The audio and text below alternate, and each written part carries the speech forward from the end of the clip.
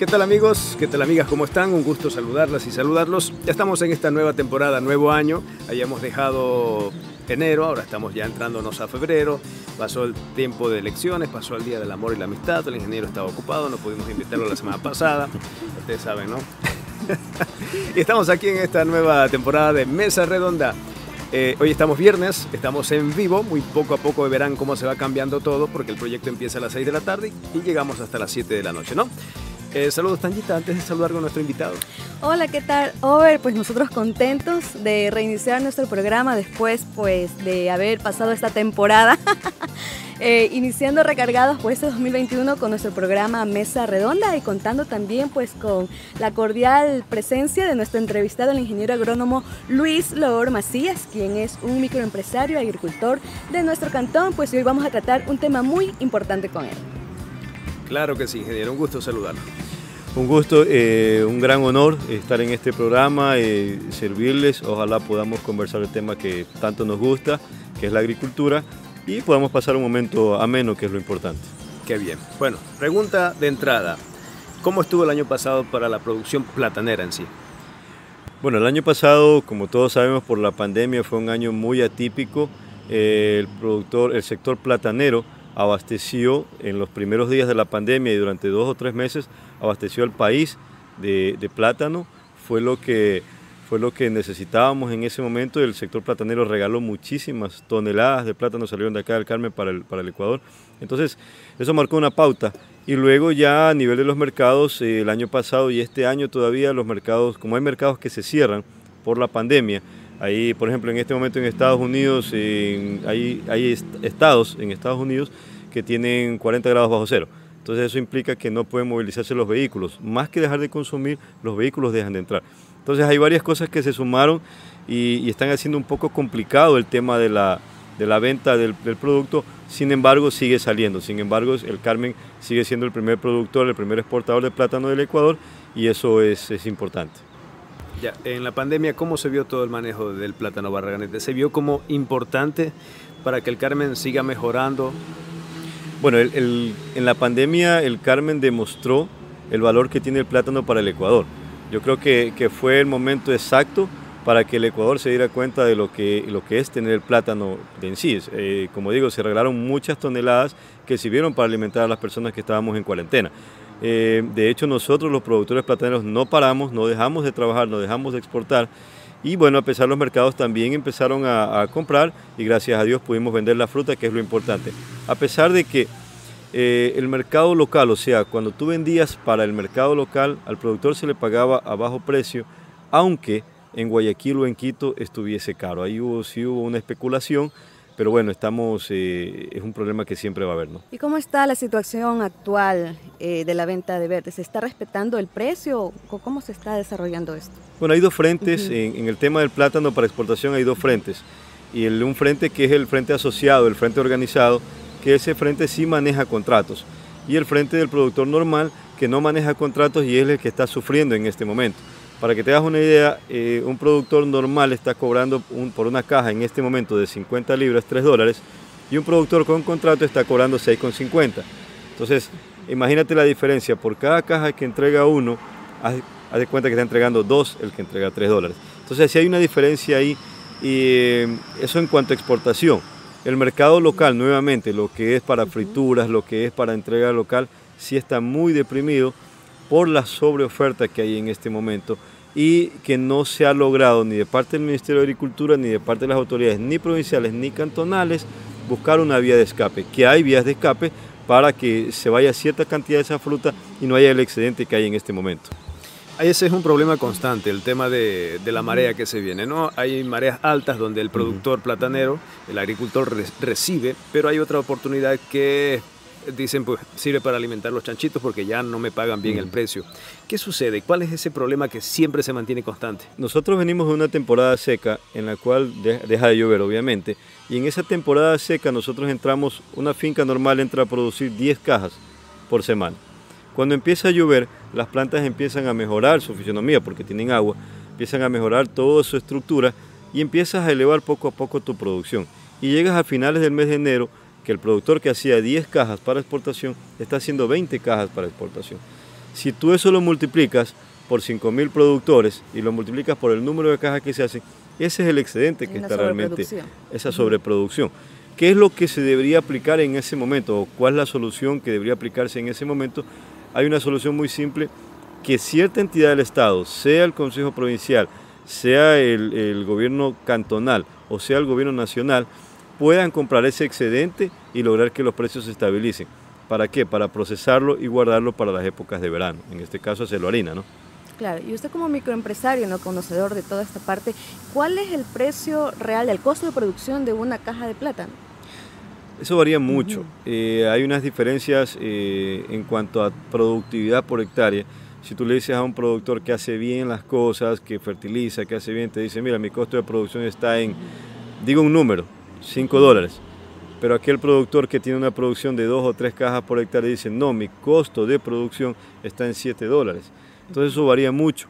Em, lo que estamos proponiendo, o lo que se ha propuesto desde hace varios años, desde que estábamos en la FENAPROPE y, y, luego ya en las asociaciones, es que los productores elijan su mejor sitio en la finca y empiecen a producir en menos terreno, pero más cantidad y calidad. En vez de tener 5 hectáreas, tengan una o dos hectáreas que la hagan más productiva y, obviamente la trabajen mejor. ¿no? Ya, ahora, si hablamos de requerir precio, pero también requiero dar calidad. Porque si tomamos un poco como ejemplo la producción bananera, ellos ya tienen un desarrollo un poquito más especializado, mientras que el plátano se lo viene haciendo, eh, digamos de una forma un poco más artesanal. Pocos son los productores que dicen, pues vamos a invertir al 100% y vamos a desarrollar el plátano como se debe desarrollar. Bueno, hay una diferencia también que hay que manejar entre nuestro primo hermano, que es el banano, y el plátano, que es lo que tenemos acá. El banano tiene una situación, si el banano no lo exportas o no lo vendes para exportación, simplemente te lo comes y, una hacienda bananera no puede dejar de, por ejemplo, dejar de exportar 100 tallos por, en, una, dos hectáreas. Entonces es muy diferente al plátano porque el plátano si yo no lo vendo para exportación se lo vendo a mi vecino que está comprando casi en la puerta de mi, de mi finca para el mercado local. Entonces la realidad eso ha hecho que nosotros como plataneros no nos preocupemos de nuestro cultivo porque si no lo vendo para exportación se lo vendo a Over. Y si no lo, eh, Over me lo compra para el mercado local así me pague un poco menos pero sin embargo saco mi fruta. En el caso del banano no sucede así. El banano o lo exportaste o te lo comiste, o se, te perdió, porque imagínate dónde vas a ubicar todo ese banano. Entonces, si hay una diferencia ahí. La especialización que necesitamos va más hacia el tema de elevar productividad, que es lo, que, lo, importante en este momento, no tanto a aumentar hectáreas, sino que el productor empiece a definir cuál es su área mejor en su finca y cuál es el mejor racimo que tiene en su finca. Acá tenemos eh, en banano, vamos nuevamente al ejemplo, hace años se decidió, esta es la variedad y esto es lo que tenemos que producir porque eso es lo que rinde más.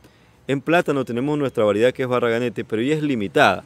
Ella absorbe mucho, es una planta muy grande, de mucho fuste, muy, muy bonita, pero que para todo ese tallo comparado al banano es muy poco eficiente y muy poco productivo. Entonces, lo que estamos haciendo en el caso mío específicamente en la finca es escoger la mejor planta que tenemos e ir reproduciendo. Solo tenemos plantas en este momento que una sola planta o un solo tallo nos está dando 45 a 65 libras para exportación.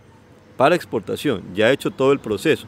¿Qué te quiero decir con esto? Que en vez de yo tener 2, 3, 4, 5 tallos para completar una caja, yo estoy completando muchas veces con un tallo y monedas una sola una caja. Entonces, eso es lo que el productor debe hacer, especializarse y en vez de alimentar cinco plantas para hacer una caja, que es la medida, la caja de exportación, tener una planta que me dé ojalá la caja. Ese es, el, cambio que hay que hacer.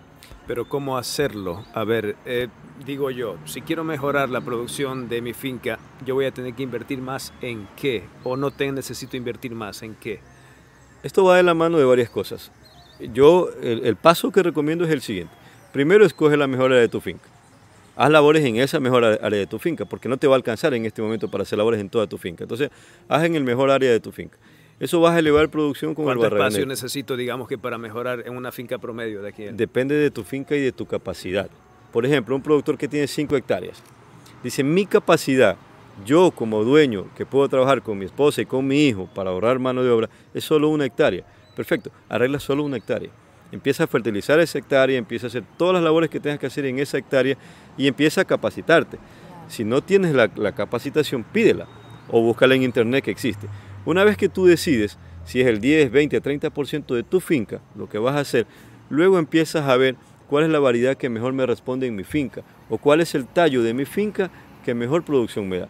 Entonces ese voy a irlo reproduciendo. Mira, em, en banano, nuevamente entrando al ejemplo, en banano sembrar una hectárea cuesta aproximadamente 12 mil dólares. Entonces tú dices, pero ¿cómo va a costar 12 mil dólares sembrar una hectárea? Resulta que en banano primero te hacen toditas las labores.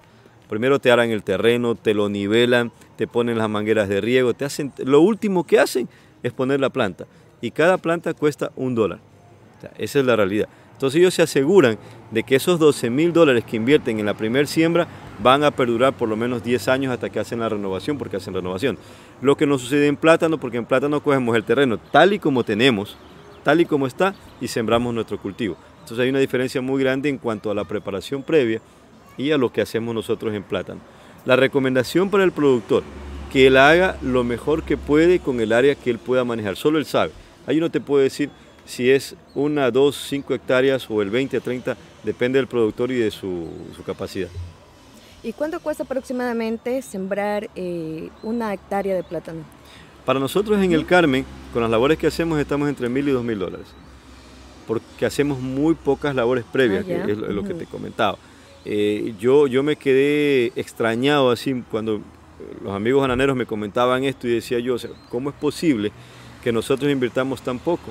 Y ellos invierten tanto. Entonces ellos dicen, yo invierto 12 mil dólares por hectárea, pero yo en dos años recojo todo mi dinero y a partir de esos dos años ya tengo ganancias y ganancias en serio. Entonces, e-, esa es la diferencia, ¿no? ¿Cuánto está en capacidad de invertir el productor platanero y cuánto espera recibir? Yo no sé si el productor platanero quiere invertir mil, dos mil o, cinco mil dólares en, una hectárea. Eso, habría que analizarlo, ¿no? A ver, ahora ah, vamos, digamos que quiero invertir lo que tenga que invertir. ¿Qué tengo que hacer con la tierra? Ah, ya identifiqué que media hectárea, una hectárea de mi espacio de terreno es el mejor. ¿Qué tengo que hacer ahí? Si tomamos en cuenta de que esa área es mejor, pero ya existe la enfermedad porque eh, la fumigación la trajo, porque la siga toca, porque todo lo que aparece aquí en estas enfermedades. ¿Cómo actuar ahí? A ver, lo primero que tú debes hacer, una vez que ya decidiste o que ya, ya entendiste esta idea que te estábamos comentando, el siguiente paso es capacitarte. La capacitación va de la mano de un técnico. O sea, los técnicos, obviamente el productor que está empezando no le puede pagar, entonces me voy al MAGAP o me voy a una empresa exportadora. Yo quiero hacer este proceso. Entonces, te vas de la mano de un técnico y el paso normal que deberías hacer, siguiente paso, hacer un análisis de suelo. O sea, el análisis de suelo te va a decir qué tiene tu suelo, qué nutrientes tiene y qué no tiene para este cultivo específico que es el plátano. Entonces, una vez que tú ya tienes el análisis de suelo, ya lo, lo mandas a hacer a un laboratorio, análisis foliar para ver, es como un análisis de una persona, ¿no? ¿Qué es lo que tengo yo en mi cuerpo? Este, este análisis foliar te dice qué es lo que la planta está absorbiendo. Una vez que tú tienes esos dos análisis listos, empiezas con el siguiente proceso, que es ver el número de plantas por hectárea. ¿Cuánto es lo adecuado en la zona? Mil, dos mil, tres mil. Entonces lo analizas con el técnico y en base a tu finca.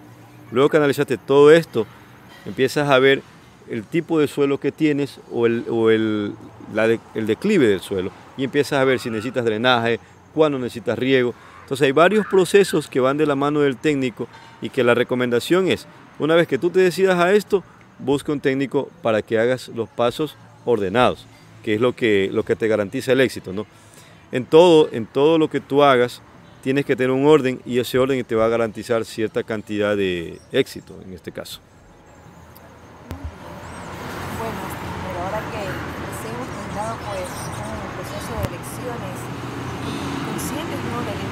de que también haya políticas que puedan beneficiar a los agricultores.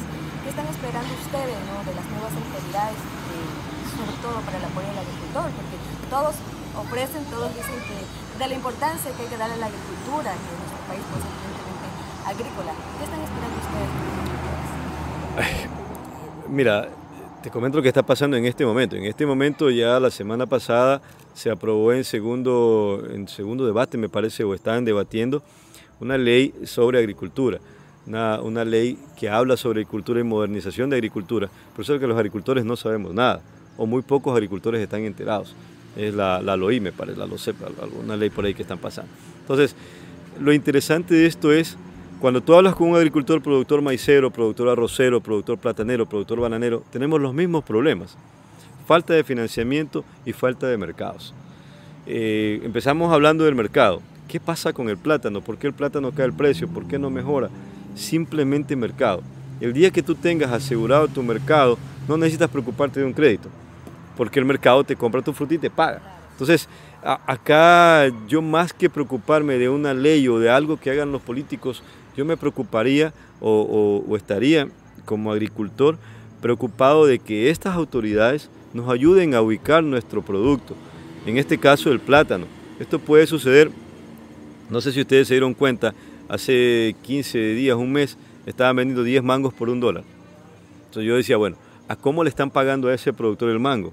O yendo a Santo Domingo están vendiendo dos sandías por 5 dólares, a 2,50 cada sandía, sandía que no es ecuatoriana, eh, que le importan y no pagan impuestos. Entonces yo decía, bueno, el productor sandiero ecuatoriano a cómo puede vender su sandía para que aquí ya la vendan a 2,50. Entonces, eh, hay unas realidades, hay unas realidades en cuanto a la agricultura que nos están matando. No sé, el precio de la yuca ahorita me dicen que está decaído. Y los productores de yuca, ¿qué pasa? El precio del cacao, eh, hasta hace, antes del feriado estaba como a 35 dólares. Hoy está a 25 dólares, 10 dólares menos. Entonces tú dices, bueno, ¿qué pasó? ¿Por qué se bajaron 10 dólares? ¿Qué sucedió? Entonces, una vez que tú te das cuenta de que... Hola, buenas tardes. ¿Cómo está? Buenas tardes. Este, no sé, les vengo a ofrecer tal vez alguna bebida refrescante para esta tarde. Usted, ingeniero, solicita, usted es el invitado. ¿Cómo solicito? No, no tengo la... la... ¿Qué necesita? A ver, una copa de vino, agua, agua. té, café. Digo, agua sí lo agradecería. Sí, por mí está bien. Ah, ya. Bueno. Un juguito. Un jugo sí, está bien. Esta tarde refrescante. Sí. Tenemos pulpa de maracuyá, tal vez mora, frutilla. Limonada. Una limonada quería yo. Gracias. sí, limonada. Limonada está bien. Sí, sí por favor. Ya, gracias. Muchas gracias. bueno, estábamos con el tema de la yuca. Sí, entonces lo que sucede realmente es que el productor, llámese de cualquier cultivo, en este caso eh, cultivos varios que estamos conversando, no tienen los mercados para vender. Y estos productos empiezan a decaer los precios y cuando, cuando acuerdas tú tienes una producción, en este caso de yuca, y no sabes qué hacer con ella o lo que está pasando con, el plátano, no sabes qué hacer con ella, o lo que sucede con cualquier otro cultivo que no tienes. Si la autoridad o el político no se preocupa de ubicar eso o de, o de entender esto y de ver cómo ubicar los mercados, vamos a seguir teniendo los mismos problemas de antes en el futuro, que es lo que no se quiere. O sea que lo que entiendo ahora es que no hay un inventario que me diga en el Ecuador, en Manabí, en el Carmen, hay tantos eh, hectáreas de tanto producto y con esto vamos a, solventar esto. No hay un inventario. Bueno, no existe un inventario ni de productores plataneros actualizados, existen eh, viejos. Actualizados no existen ni de productores plataneros, ni de yuqueros, ni de porcinos, ni de... no, existe una realidad. O sea, cualquiera siembra y, y produce lo que quiere. Y produce lo que quiere pero esto te causa un desorden en el mercado. Entonces, tú eres un productor yuquero de hace 20 años, tú siembras todo el tiempo yuca, tú has tenido, resulta que tu vecino vio que tú tienes yuca, sembró y dañó el precio de todo el mercado de la yuca, o todo el mercado del plátano, o lo que está pasando en la península. Con el plátano, tenemos cerca de 3.000 hectáreas ya de plátano, cuando ya no se producía plátano, o lo que pasa en Esmeraldas, que por la PC, el propio ministerio promocionó las nuevas siembras de plátano y ya hay plátano en Esmeraldas, cuando no había, o en Pedernales. Hace poco me enviaban una foto, me decían, es muy interesante, antes el Carmen mandaba plátano a Pedernales y hoy venía un camión lleno de plátano hacia el Carmen, de Pedernales hacia el Carmen. Entonces tú dices, bueno, ¿qué está sucediendo? ¿Qué está pasando? El negocio no es tan rentable. Hay que empezar a cerrar esto para que empiece o empezar a hacer otras cosas con el A ver, eh, también esté hablando de ese tema, ¿Qué es recomendable? Porque sabemos que el verde en todo momento no está bien de precios. ¿Qué me recomienda dentro de, mi finca? ¿Qué puedo sembrar para ser sustentable la agricultura? ¿Qué más puedo sembrar? Esta, la, recomendación, lo que tú tienes que hacer depende de ti en tu finca. Yo te puedo decir, mira, es muy interesante tener cerdos con la yuca y tú puedes tener una vaca, con eso haces el queso y con el suelo le das al cerdo y, te puedo dar una, una receta de hacerte una finca bien interesante. Gracias eh, o, te puede dar una planificación de hacer una finca bien interesante, pero resulta que eso seguramente no es lo que tú necesitas. Entonces no existe una receta específica para cada finca ni para cada agricultor. Lo que el agricultor necesita es hacer lo que él hace bien y de esa manera irlo reproduciendo. Te doy un ejemplo fácil. Tú ves aquí alrededor de nosotros hay muchas plantas ornamentales. ¿Quién produce esas plantas ornamentales? Un agricultor. ¿Cómo vende cada planta ornamental? Seguramente es mucho más rentable tener una planta ornamental que tener eh, plátano o tener yuca o tener otros cultivos. Pero ¿cuántos productores se dedican a esto? ¿Cuántos se arriesgan a esto? Entonces, el tema es qué es lo que tú puedes hacer bien, qué es lo que tú sabes hacer y en base a lo que tú puedas hacer en tu finca, ir desarrollándote. Em, yo conozco a un amigo que él me dice, mira, yo surto de todo lo que es flores, abonos orgánicos, todo lo que necesitas en plantas para Supermaxi. Entonces, mis fincas, mis tres fincas, se encargan de producir todo para Supermaxi. Entonces yo digo, ¿por qué ese productor o por qué Supermaxi no tiene más productores que le entreguen? ¿O por qué no tiene otros proveedores? ¿O por qué no tiene, o por qué yo no puedo ser un proveedor de ciertas plantas para Supermaxi? Entonces ahí entra un tema que yo te digo, o sea, depende de lo que tú quieras producir, de lo que tú en tu capacidad, en tu finca, en tu tiempo puedas hacer y es lo que vas a desarrollar. Hay fincas integrales muy bonitas, pero depende mucho del agricultor y de su compromiso con esto. Así es. Y bueno, y en relación de lo que hemos estado hablando del plátano, este, ¿cómo podemos aprovechar los desechos? Porque sabemos que ahora todo, todo se aprovecha. En cuestión del plátano, este, ¿cómo hacerlo? Bueno, en realidad el plátano lo que te deja en tu finca no son tantos desechos, más bien yo creería que nosotros podemos aprovechar desechos, de, por ejemplo, de, nuestros vecinos que tienen ganadería para hacer los, abonos orgánicos, que es lo que, es lo que lo más recomendable. Muchas gracias. Eh, el tema de esto es cómo tú puedes utilizar o cómo tú puedes hacer que tu finca sea más rentable. Que tu finca sea más rentable. ¿Cómo es más rentable tu finca cuando tú empiezas a hacer tus abonos? Eh, mira, hay una, en, en, en administración hay una, una tesis, o no una tesis, sino una forma de ver las cosas, que entre más sale, cuánto sale y cuánto entra de tu finca, cuánto sale o cuánto entra de tu finca. Entonces, si tú haces tus propios abonos, estás sacando menos dinero. Un saco de abono en promedio te cuesta 25 dólares, pero si tú lo, tú lo haces en tu finca, te va a costar 3 dólares. Y si tú, para que des la dosis adecuada, aplicas tres de estos sacos, entonces tú dices, de lo que hacen en tu finca me cuesta 10 dólares.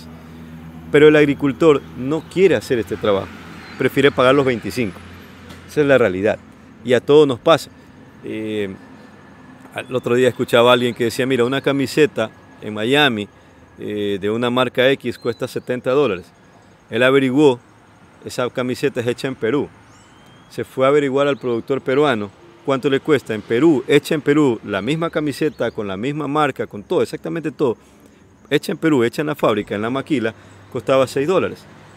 Pero en Estados Unidos cuesta 70. Entonces, ¿dónde está la diferencia? Que el productor no vende en el mercado final, sino que lo vende otra persona. Eso nos pasa en todos los cultivos, nos pasa todo. Entonces nosotros no, no queremos ir a comprarle al productor, sino queremos comprarle a la tienda, en este caso. Y eso pasa. O sea, hay muchas cadenas. Ya, y en cuanto a los desechos del plátano, en cuanto estamos hablando del tallo, alguna vez leía y decían que se podría aprovechar para, para el tallo, para lo, que, lo que sobra, utilizarla en ganado, utilizarla en, abonos, también para la finca. ¿Qué, es aprovechable del, plátano, del tallo completo? bueno, lo, lo, interesante en el plátano es que como tú tienes, un, tú tienes una fábrica, ¿no? en este caso una fábrica de producción de, de, de productos para exportación, lo interesante es que esta fábrica esté funcionando. O sea, yo creo que ese tipo de, comida, en este caso, que lo puedes alimentar, lo puedes usar para alimentación animal, lo más interesante es que lo puedas utilizar para la propia alimentación de las plantas que tienes allá. Porque es tu, es tu negocio, ¿no? De pronto tu negocio no es alimentar la vaca del vecino, sino alimentar tu propia finca para que ella te empiece a dar más rentabilidad. Entonces, eh, hay formas donde tú puedes hacer que esto sea más eficiente, donde tú puedes bajar inclusive un poco la cantidad de enfermedades, eh, aprovechando eh, lo que tienes en la finca, aprovechando estos residuos. Hay formas, por eso te digo, ahí te entra la capacitación y entra el técnico que te va a decir, mira, si yo cojo todo el pseudotallo, todo el raquis, todo lo que, donde está el fruto, eh, pegado se llama raquis. Si yo cojo todo ese raquis, lo pongo en un lugar, una vez que él se empieza a descomponer, me sale un lixidiado, un líquido, ese líquido me sirve para bajar nematodos en la finca. Si yo solamente con hacer eso lo utilizo y lo aprovecho, ya estoy ganando. Pero depende netamente del productor y depende de lo que él, eh, como te decía, ¿no? lo que él quiera hacer. Porque muchas veces el productor, aún sabiendo, no lo hace. Una de las últimas preguntas ya, porque estamos a punto de finalizar. Eh, ¿Agricultura química u orgánica? ¿Qué conviene más? Yo sí te digo que depende del mercado y depende de lo que tú quieras hacer. Gracias a Dios, cuando tú tienes tu finca es tu propio, tu propio mundo. Eh, la agricultura química existe y ha existido y va a seguir existiendo. La agricultura orgánica también. Pero la agricultura orgánica, si no está certificado, no existe. alguien decía, para usar un químico nadie me pide una certificación, pero para ser orgánico sí me pides. Tú como consumidor, yo te digo, esta botella de agua es orgánica. Tú me dices, listo, yo creo que es orgánica. ¿Cómo sé que es orgánica? Ah, yo tengo una empresa que me certificó y esa empresa te cobra por certificarte. Entonces, para ser realmente orgánico, orgánico, como dice la ley, tú tienes que certificarte. La certificación tiene un valor. Entonces, el agricultor normal no puede pagar las certificaciones. Y ese es el gran problema. El agricultor normal no está en capacidad de pagar las certificaciones porque tienen un costo elevado. La agricultura química no es mala si la usas con criterio. Nuevamente, ahí entra la recomendación de un técnico. Tú como persona dices, yo creo que para evitar gripe voy a empezar a tomar calcio todos los días empiezas a tomar calcio, calcio, calcio, pero tu cuerpo dice, oye, yo necesito 10 gramos de calcio, nada más. De los 1000 que tú me mandas, 990 lo voy a botar. Y los bota, de hecho, el cuerpo. Entonces, ¿qué? Viene el médico y te dice, oye, tú estás bien de calcio, o sea, estás botando tu dinero. Lo mismo pasa en el campo. En el campo, muchas veces, si no hacemos un análisis, ah, yo creo que me falta potasio en mi, en mi planta. Entonces, compro un fertilizante rico en potasio. Cuando hago el análisis, veo que mi planta no necesita potasio, mi planta necesita fósforo necesita fósforo. Pero yo estaba echando potasio, potasio, botando mi dinero porque la planta simplemente no lo aprovecha. Esa es la importancia de un asesoramiento técnico. Exactamente. Entonces, si quieres entrar a una modernización en cuanto a tu cultivo, y esa modernización va a la pregunta con el técnico, dice, yo me voy a lo orgánico, me voy a lo químico, me voy a lo, a lo convencional, me voy a lo semi, para eso está el técnico que, que, va a estar a tu lado y te va a estar guiando en este proceso. Eh, yo decía alguna vez, ¿Cuánto cuesta pagarle a un técnico? Entonces me dice el agricultor, no es que yo no puedo pagarle al técnico. Sí, justamente eso voy a preguntar. ¿Por qué no puedes pagarle al técnico? ¿Qué tanto nos cuesta? ¿Usted puede asesorar como ingeniero? ¿Gratis? No gratis, pero vamos a lo otro. ¿Ya? ¿Por qué tiene que ser gratis? ¿Por qué tiene que dar una asesoría a una persona gratis? Tú tienes que pagarle a esa persona, porque esa persona para algo se prepara siempre. El médico siempre está leyendo y, y nosotros acá igual. Pero ¿cómo le vas a pagar a esta persona? Yo siempre digo, paga por resultados. Entonces, yo contrato a X persona, un técnico, me dice, Luis, yo te voy a cobrar eh, cualquier valor por trabajar en tu finca. Perfecto, pero yo necesito que tú, con tu trabajo, puedas pagarte tu sueldo. ¿Cuánto tiempo vamos a darte? ¿Tres meses, seis meses? cojo una finca X que estaba en X producción y en seis meses la llevo a esta producción entonces el agricultor dice, oye, sí vale la pena tu trabajo porque elevamos productividad. O simplemente tu trabajo no sirvió y no puedo seguirte pagando. Entonces aquí hay un tema que en agricultura y en todo deberíamos pensar en cómo pagar en base a resultados. Eh, pero definitivamente, definitivamente tenemos que entrar a esta modernización ordenada de nuestras fincas. Cuando tú me preguntabas antes de la entrevista, ¿tú qué eres? Pues tengo que ser un microempresario tengo que ser un empresario. no, aquí no hay una, una cuestión que yo lo pueda analizar. Tengo que ser, porque si no esto no funciona. Entonces, cuando tú me no dices... competir. No, no puedo competir. Cuando yo empiezo a ser empresario, empiezo a valorar costos, empiezo a valorar, a valorar producción, productividad. Yo te pregunto a ti como productor de plátano, ¿cuántos dedos tú metes en una caja de exportación? el 90% de los productores no sabe cuántos dedos van. Cuando, y por experiencia propia, yo tuve un tiempo que no pude ir a mi finca porque tenía un trabajo, aparentemente yo estaba bien, cuando regresé a mi finca, ya salí del trabajo y regresé a mi finca después de 5 o 6 meses, que resulta que estábamos en mi finca en cada caja poniendo 90 dedos aproximadamente. En este momento nosotros estamos entre 60 y 70 dedos. Quiere decir que yo me estoy ahorrando entre 30 dedos, 20 y 30 dedos por cada caja de exportación. Quiere decir que si antes yo hacía una caja, ahora llevo caja y media. Solamente con haber mejorado el número de dedos. ¿Cómo mejoro el número de dedos? Más semanas en campo, mejor nutrición, mejores labores que me permitieron salir de eso que antes hacía a lo que hago ahora, a lo que estoy en este momento mejorando. Entonces, cuando el productor, el técnico le dice, o va a llegar el técnico, lo primero que tiene que hacer es un diagnóstico de cómo está esa finca, por resultados. Entonces, tú tienes 100 dedos, listo, vamos a nosotros en dos semanas o en tres semanas vamos a bajar a 60, 70. Y en tres meses vamos a bajar a 65. Pero en tu finca nos vamos a estabilizar en 60 dedos por caja, que es lo que debería ser. ¿Cómo? Haciendo estos procesos.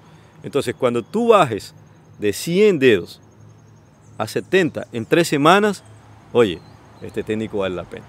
Entonces, ahí es cuando empieza a mejorar. Ah, ya. Ya, eh, es el tema, el 50, tema, 50, dice. el tema importante. Mira, yo, yo más creo, yo más creo que el tema importante es porque va, va a venir un productor pequeño y dice, oye, yo no puedo pagar lo que tú cobras, porque si no tú cobras mucho.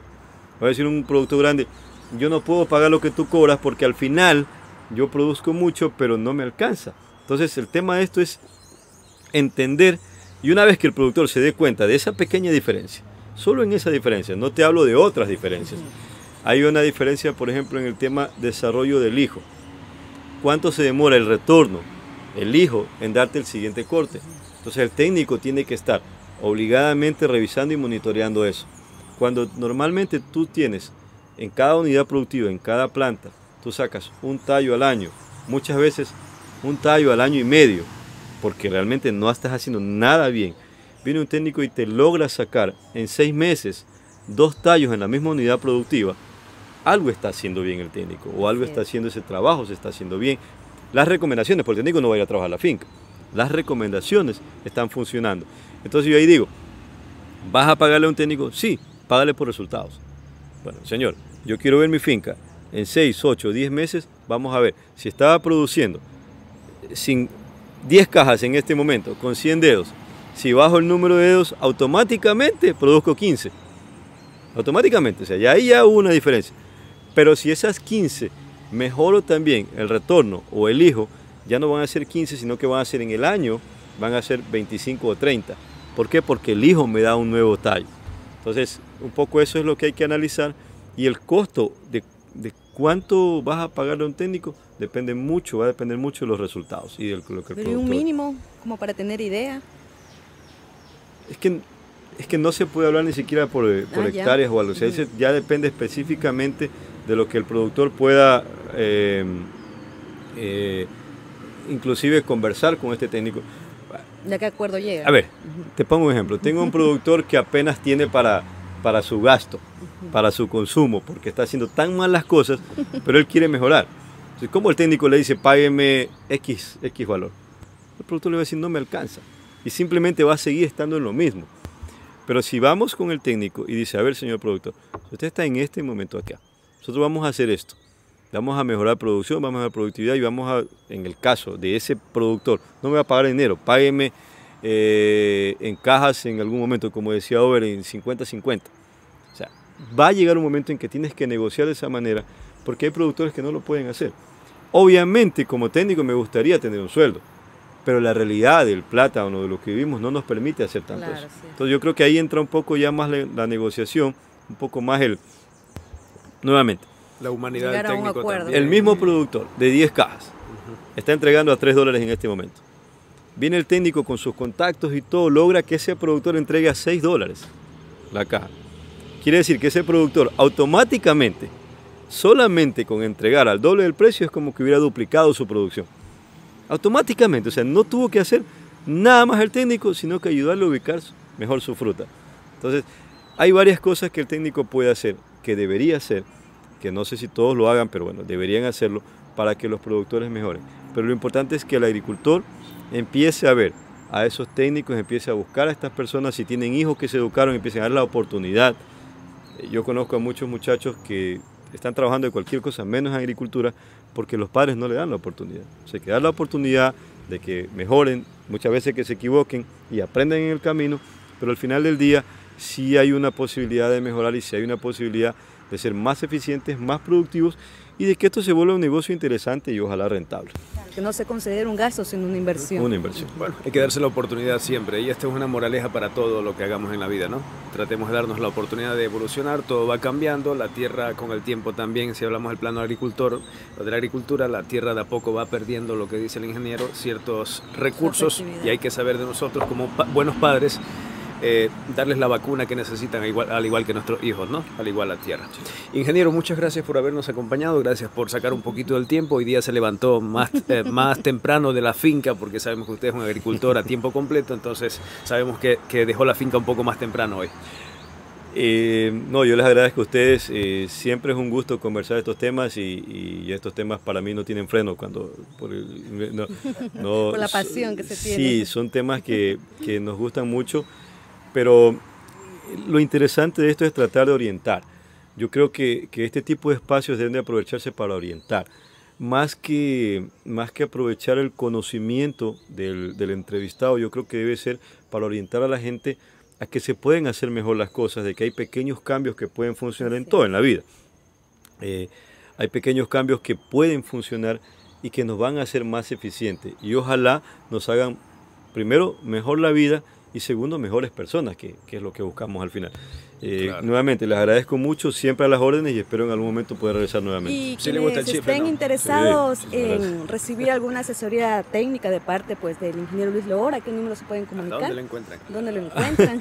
bueno, mi número es el 099 1 327 657, es el número celular. Eh, y bueno, normalmente... Eh, ya en este, en este tema de, agricultura, aparte de, la agricultura que hacemos, mi trabajo, también hago dirigencia, eh, es algo que también me apasiona mucho. Hemos trabajado también en la parte pública, en la parte de, abonos orgánicos y todo esto. Eh, trabajamos también mucho tiempo en esto con un proyecto muy interesante que había en el gas municipal. Y esto hace que, que toda esta experiencia hoy nos permite hablar diferente que hace, qué sé yo, 15 o 20 años del cultivo, en este, de este cultivo, pero que al final se aplica para todos los cultivos. Es, es lo interesante de esto. O sea, en cada, cada día está desarrollándose. Sí, sí, es que si no, te quedaste. Bueno, qué bien. Sírvase, sírvase ahora soy del plátano barraganete en chifle. Justamente, pues aquí tenemos... ¿Cuál, es mejor para usted, barraganete o, dominico? Depende. No, y, y, si, y si le preguntas acá un tema ya personal, digo, si le preguntas a tu esposa en tu casa, ella te va a decir que Dominico. O sea, para tu esposa aquí en el Carmen, nosotros Dominico. Pero para nivel de exportación o para nivel de proceso o algo es Barraganete. Porque el Barraganete tiene la gran ventaja de que dura muchos días verdes. Eh, si el Dominico durara todos estos días verdes, el Dominico se exportara. El problema del Dominico es que no dura verde. el Dominico se madura muy rápido, en una semana, entonces no llega a los mercados. Barraganete llega hasta un mes. que el dominico es preferido en la cocina porque... Para eh, empanadas dicen que dominico. Sí, justamente. No se le deshacen las empanadas. Que para el barraganete es más arenoso. Sí, que las mujeres más recién, recién este, dada a luz, o sea, paridas, le recomiendan el dominico porque es no sé qué, no sé cuándo. Sí, bueno, acá es una cuestión cultural. Hace... Yo vivía engañado, y creo que vivimos los carmenses engañados, de que nosotros comemos plátano en el Ecuador y, el, y el Carmen y todo Resulta que Latinoamérica consume mucho plátano y República Dominicana consume mucho plátano igual que el Carmen. Y plátano en formas parecidas. Ellos hacen un bolón parecido al, bolón nuestro, pero le llaman mofongo. Ellos hacen la sopa, ellos hacen muchas comidas parecidas. Entonces, con nombres distintos. Mira, para que te hagas una idea, el, consumo en República Dominicana, que deben ser eh, no sé, 4 millones de personas. No, no tengo el número exacto, pero deben ser por ahí. Estamos hablando de que ellos están consumiendo 40 mil cajas de exportación por semana. Solo República Dominicana. ¿Por qué el Ecuador no abastece a República Dominicana? Porque ellos producen su plátano. Hace, eh, hace, hace eh, cierto tiempo estuvieron acá unas autoridades de allá y decían que ellos eran productores. La gente del Ministerio de Agricultura son productores de plátano porque ellos necesitan, consumen mucho. Entonces, si hay un tema interesante que tenemos que también, allá hay festivales de plátano y todo un proceso. Entonces, sí es interesante lo que sucede también en estos bueno, países. mucho más por la variedad de, de, platos que se puede preparar, una infinidad de platos que se puede preparar con el plátano. Sabes que Puerto Rico tiene sus propias variedades parecidas al, al barraganete. Puerto Rico también te consume muchísimo plátano. aquí hay, eh, yo creo que de Ecuador hacia abajo se consume poco, pero Perú ya está produciendo chifle para exportación. Y Perú le va muy bien produciendo chifle para exportación, no tanto su consumo. Argentina, Chile ya son mercados por los ecuatorianos que están yendo allá. El ecuatoriano llevó su plátano y enseñó a comerlo allá. Entonces ya, ya están consumiendo. Yo te digo, hace 10 años Chile no te consumía nada de plátano. Hoy te debe consumir unos 10 contenedores por semana. O sea, 10.000 cajas debe consumir. Cuanto antes no había. Entonces, el plátano es un cultivo que es muy diverso, te permite hacer muchas cosas y que hoy día está abriéndose a nuevos mercados y está desarrollándose bien, gracias a Dios. ¿Y cuál es su plato favorito? Qué bien. Eh, base de verde. El, el, bolón, pero este que viene con el jugo de carne y todo Ah, esto. ya. Y, y- sí, sí, es, Exquisito. sí, es el, lo aprendí a comer en, en Guayaquil. Pareció muy interesante. Y obviamente la empanada. La empanada para mí es... es- Indudablemente, así Sí, sí, se sí. puede pre- preparar este, una infinidad de, de platillos con el verde. 10.358.000 personas. 10 República millones. Dominicana. 10 millones. Sí. Dato interesante. Ahí está, solo es para consultarlo. Ahorita con el internet, si dices que no sabes algo, pues consúltalo y ya está, no pasa nada. Ya no tienes que ir a la biblioteca donde estaba esa señora así, media dormida, esperando que te atienda. Nosotros agradecemos a todas las personas que nos Sí. están escribiendo, gracias por sus comentarios y saludos. Bueno, ya creo que hemos llegado a, Sí, sí, a la parte final, Claro que sí. así que agradecido con cada uno de ustedes y también con Cajú. Gracias a Carlos Falcones por prestarnos estas hermosas instalaciones para, para realizar nuestro programa, nuestro primer programa del año del Sí, 2021 de. Mesa Redonda. Gracias a ustedes por compartir, ya saben. Y sigan visitando el YouTube, Facebook, eh, laciudadaldía.com, Instagram, TikTok. Desen la vuelta por todos lados, que ahí estamos con La Ciudad al Día. Gracias a Darwin Cedeño en, en controles.